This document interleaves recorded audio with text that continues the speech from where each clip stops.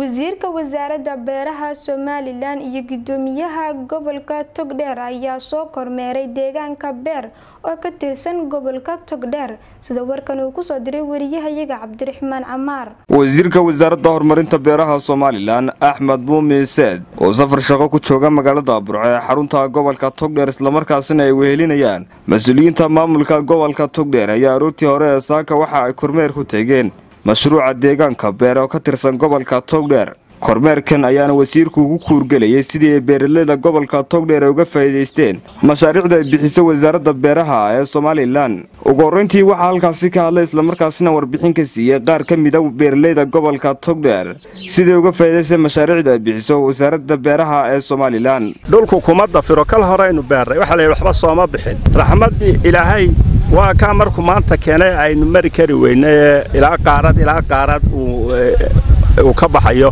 Hadduu roob dambe helana waa la kala guran. Waa kuwii kalena waa innakii soo marray ee mashaariicdii soo marray oo iyaguna jabkaasay ahaayeen. Saracii wasaaradda wasiirku uu beeray. Kal hore waxaana lahaydeen waxba sooma bixin ama wasiir ha lagu canaanto ama annaka hanala ku canaantee. Maanta waa taasoo waxa weeye maanta markii ilaahay raxmaddiisii jubay waa kaa soo baxay. Tacab ma qado. Mudan wasiir halkaanu taaganaya intaynu marayna waxaa ka mid toddobadii boqol hektar wasaaraddu beertay. Malaa dee dhowr saacood baynu ku jirnay innagee badho saabku.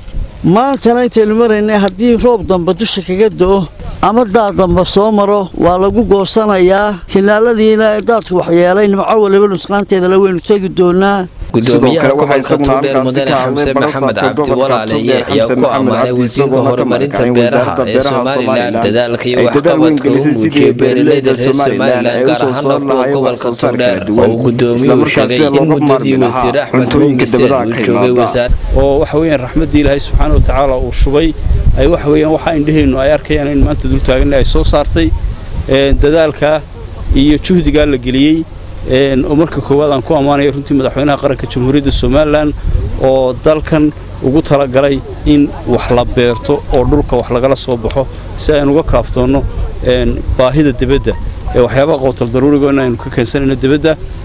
Wasiirka wasaaradda horumarinta beeraha axmed muumin seed runtii inta uu shaqada wasaaradda haaneedayay ama uu gacanta ku hayey wuxuu ku tallaabsaday runtii horumar aad iyo aad u ballaadhan dadaal aad iyo aad u ballaadhan oo hadh iyo habeen aanu ka fadhiisanin sidii beeralayda dalkan jamhuuriyadda somalilan ay dhulka wax ugala soo bixi lahayd waa waxyaabihii ugu horreeyey ee ay wasaaraddu maalgelisay.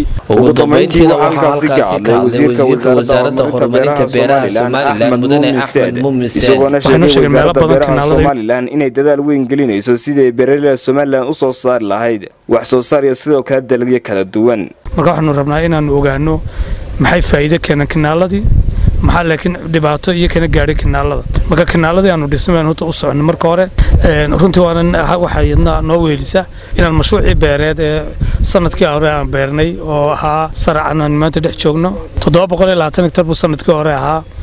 Runtii sannadkii hore wax badan kama aanu jirin laakiin un baynu ka jarnay.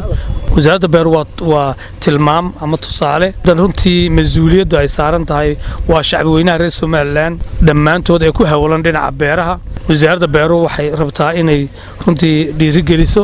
Cabdiraxmaan cabdilaahi xasan camaar telefishinka caalamiga ee somaali news magaalada burco